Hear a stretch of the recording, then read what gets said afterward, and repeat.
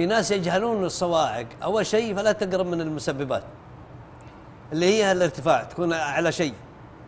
ولا تقرب الشجر. هذه اثنين. واهمها الجوال لا يكون باتصال. ما ما عداها فرحمه الله وسيعه لكن بعض الناس يجي في شفا مرت... لأنها تضرب أعلى شيء دائما.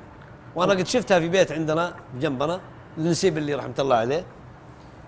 آه، ضربت البيت لكن بقدرة القادر سبحانه وتعالى انسحبت مع الاريل كان في اريل انسحبت معه وفجرت دخلت في السلك فجرت اللي في طريقها وتشقر في البيت لكن سلم البيت سبحان الحمد الله لله. إي والله فلا أنا قريب أنا قريب لي قبل سنة تقريبا ابن خالتي لي وقاضي.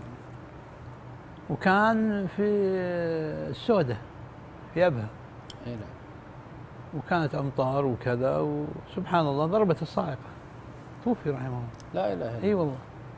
سبحان الله. الله يغفر له ويرحمه ويتجاوز عنه. آه، التعرض بعض الأيام آه، دام الله أعطاك بيت وقت الامطار وشدة المطر آه، اركد. اركد.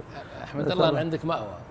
والظاهر لما اشتد المطر على أهل المدينة ولا كان إيه. للنبي صلى الله عليه وسلم دعاء اللهم حوالينا. اللهم حوالينا ولا اللهم في بطون الأودية ومنابت الشجر. يا سلام. كانت تنقشع السحب تتجه كما يخبر النبي صلى الله عليه وسلم. صلى الله عليه وسلم. وهذه كذلك إذا اشتد المطر لأنه دعوا الله سبحانه وتعالى. جو النبي صلى الله عليه وسلم كان يخطب إلى أن قالوا كذا إصابنا ما أصابنا فدعا. فنزل المطر أسبوع كامل. فعاد جاءوا بعد الأسبوع الجاي قال يا رسول الله يعني إلى آخره من الضرر الذي أصابهم. لا إله إلا فدعا. فلذلك اذا اشتد ندعو بهذا الدعاء. اللهم في بطون الأودية ومنابت الشجر وإلى آخره. لأن بعض الأيام هذه تحتاج ماء أكثر من المدن أو غيرها. المدنية هو.